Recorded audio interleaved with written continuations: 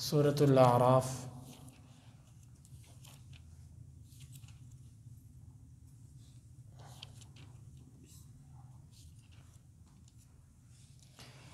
आयत नंबर एक सौ सतासठ। अऊज़ बिल्लाहिस्समीइल मिनश्शैतानिर्रजीम मिन हमज़िहि व नफ़्ख़िहि व नफ़्सिहि व इज़ और जब तअज़्ज़न ऐलान किया रब्बु का तेरे रब ने लयबअसन्ना अलबत् वो ज़रूर बेज़रूर भेजेगा अलैहिम इन पर, इला तक यौम दिन अलक़ियामती क़ियामत।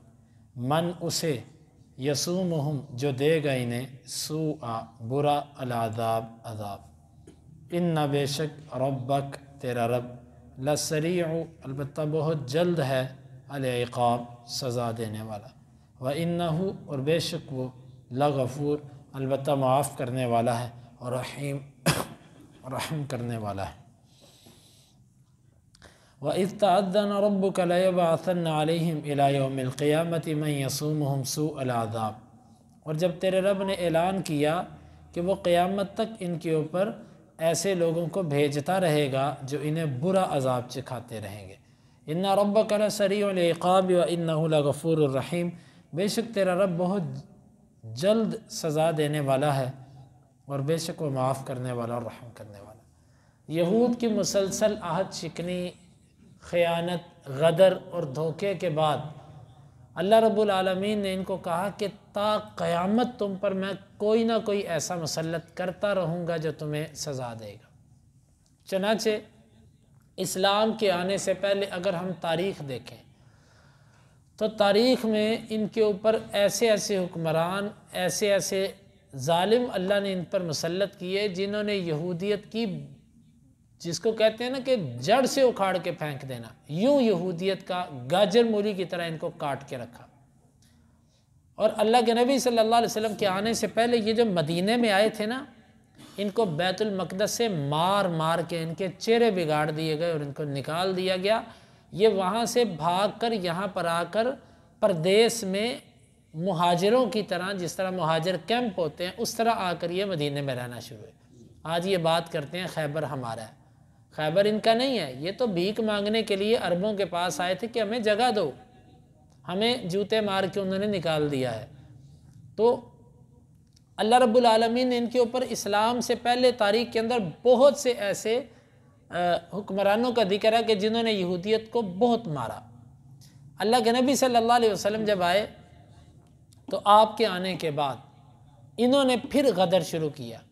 सबसे पहले अल्लाह के नबी सल्लल्लाहु अलैहि वसल्लम ने इनके एक कबीले को निकाला। उसकी वजह एक मुसलमान औरत की इज़्ज़त को पामाल करना था और उस पर डट जाना।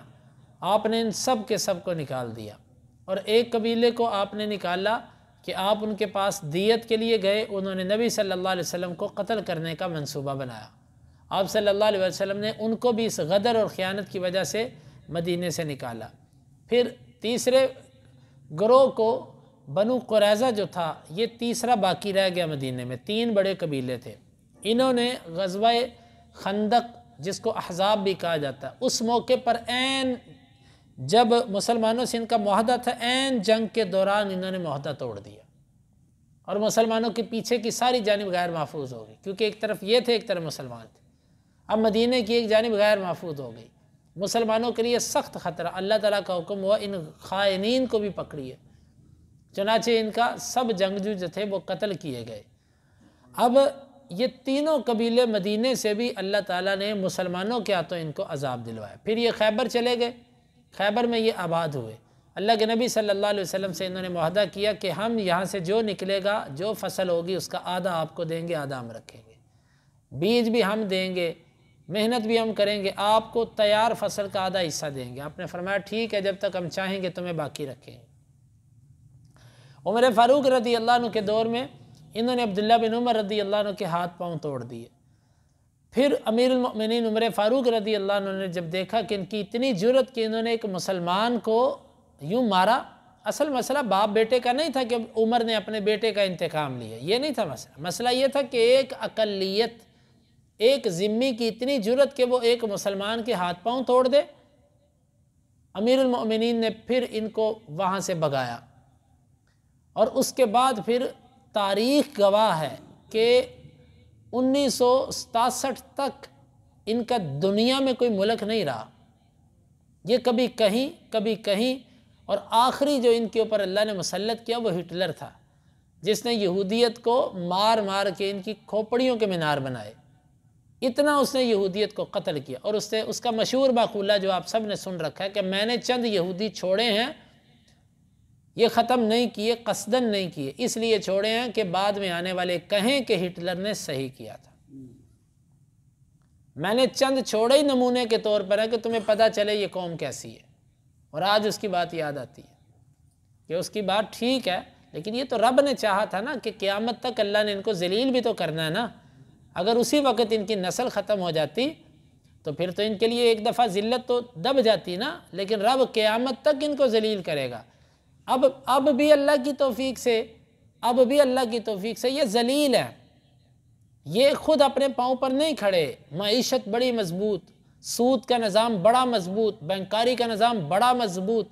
दुनिया में बड़े बड़े जो सिस्टम है, वो सब बड़ी बड़ी कंपनियाँ और सब मामला इनके हाथ में है। लेकिन अल्लाह ने इनको ज़िल्लत ऐसी से दो चार कर रखा है कि ये अपने पाँव पे खड़े होकर बात नहीं कर सकते। ईसाइत की गोद और ईसाइत का सहारा लेना इनकी मजबूरी है। अल्लाह ताला ने कुरान में फरमाया कि क़यामत तक और अब भी आएगा और आता रहेगा।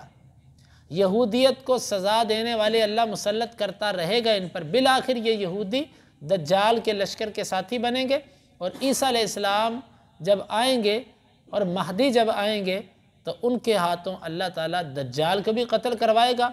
और इन सब काफरों को जो मुसलमान नहीं होंगे, इन सबको कत्ल किया जाएगा। ये क़यामत के दिन तक अल्लाह ताला इन पर अजाब मुसलत करेगा। तो अल्लाह ताला ने वाज ऐलान किया। देखो, ये भी कुरान की हकानियत, कुरान की सच्चाई। लेकिन जब रब किसी के दिल को बंद कर दे, अब यहूदी कुरान तो पढ़ते हैं, लेकिन किस लिए? मुसलमानों के ख़िलाफ़ बातें तलाश करने के लिए, इस्लाम के ख़िलाफ़ कुछ ढूँढने के लिए। ये आयत भी वो पढ़ते होंगे। लेकिन मेरा रब जब अंधा कर दे तो कोई क्या कर सकता है? जिस तरह बड़े बड़े जुब्बों वाले, दस्तारों वाले, पगड़ियों वाले कुरान की आयात पढ़ते हैं, शिरक के बारे में पढ़ते हैं और इन सब चीज़ों का पढ़ते हैं, लेकिन उसी तरह उस पर डटे हुए लेकिन रब्बुल आलमीन ने दिलों पर ताले लगाए। जब तक वो ताले नहीं खुलते, दिल में बात नहीं उतरेगी। तो रब ताला ने ये कुरान का इतना तनकीदी मुताला करते हैं कि आप मुसलमान उतना मुताला नहीं करते। इनके जो ख़ास ग्रुप हैं, उनकी बात कर रहा हूँ, हर एक की नहीं, तनकीदी मुताला करते हैं कुरान का, लेकिन हिदायत अल्लाह के हाथ में। अल्लाह ताला ने फरमाया, क़यामत तक मैं ऐसे लोग इन पर मुसलत करता रहूँगा जो इनको बदतरीन अजाब देते रहेंगे। वो मुख्तलिफ़ किस, और सबसे बड़ा इनके पर अजाब पता क्या है? खौफ। सबसे बड़ा अजाब इन पर खौफ है। इनको पूरी दुनिया में खौफ है। किसी एक मुल्क में भी अपने आप को महफूज नहीं समझते। जान का भी खौफ है, माल का भी खौफ है। अब आपको पता भी नहीं, आप तो ये कहते हैं ना, मेरा रब राज़ी का वो रिजक देने वाला है। लेकिन ये जो यहूदियत के जो बड़े बड़े बिलगिट्स या इस तरह के जो बदबख्त हैं, ये अभी से इस टेंशन में है कि इतनी के ज़ख़ीरा अंदोज़ी करो, अनाज, असल अनाज जो है, इसको महफूज करो, इसके लिए वो बड़े बड़े स्टोर बना रहा है। जिसके अंदर वो हर जो बीज का है, बीज हर फ़सल का, असल बीज जो है, वो उसको महफूज कर रहा है बहुत बड़ी मकदार के अंदर। क्या होगा जी, दुनिया के अंदर एक वक्त आएगा, ये चीज़ें ख़त्म हो जाएगी ज़मीन की तय में वो ऐसा सिस्टम बनाया उसने, वो कर रहा है। किस लिए? खौफ फ़कर दिमागों पर सवार है। अगर इनके पास एक सौ साल का रिस्क हो ना तो इनको सौ की नहीं, इनको एक सौ एक साल की फ़िक्र लगी होती। उस टेंशन में है सौ साल बाद क्या होगा? हम तो रात को सोते हैं, कहते हैं, रब राजिक है। रब देगा इन सुबह। लेकिन इन लोगों पर अल्लाह ने सबसे बड़ी ज़िल्लत, खौफ की मसलत की हुई है। और खौफ इतनी बुरी बीमारी है ना, किसी को किसी ने पूछा कि, अल्लाह, अगर तुझे बीमारी या खौफ इन में से किसी एक में मुबतला करना चाहे और तुझे इख्तियार दे, तू किसको चुनेगा? उसने कहा, मैं बीमारी को चुनूँगा। कि बीमारी में बंदा सो तो जाता है ना कभी ना कभी। बंदा कुछ खा तो लेता है, खौफ में ना नींद आती है और ना कुछ खाया जाता तो ये बदबख्त ऐसे हैं, अल्लाह ने इनकी दुनिया भी इनके लिए ये खाते पीते बज़ाहिर आपको दिखाई देते हैं, ये वक्ती तौर पे दिल बहलाते हैं। वगरना इन पर खौफ मुसलत है हर वक्त। ये तो अल्लाह का लाख लाख शुक्र है, हमें पता ही नहीं खौफ क्या बीमारी होती। ये तो उसको पता जिसके ऊपर मुसलत है। हम तो आराम की ज़िंदगी जीते हैं। आज़ादी से घूमते फिरते हैं। ये इनके लिए मुश्किल है। ये अपने फ़लस्तीन के अंदर भी अपने आप को महफूज नहीं समझते। क्योंकि गासिब है ना ालिम है। यानी इन्होंने जो इसराइल बनाया फ़लस्तीन में, उसमें भी अपने आप को महफूज नहीं समझते। क्योंकि इनको पता हमने जुल्म किया, हमने गसब किया। हर वक्त इनको डर लगा रहता है। तो अल्लाह ताला ने यह भी इनके ऊपर एक अजाब मुसलत किया हुआ है। और कैसे वो छोटे छोटे नन्हे मुन्ने फ़लस्तीनी, माजूर फ़लस्तीनी, सफ़ेद दाड़ियों वाले फ़लस्तीनी ख़वातीन कैसे इनकी गन्नों और इनकी तोपों के आगे सीना सुपर करके खड़े हो जाते तो बहरहाल, अल्लाह ताला इनको क़यामत तक जलील करता रहेगा जब तक ये यहूदियत पर कायम रहेंगे।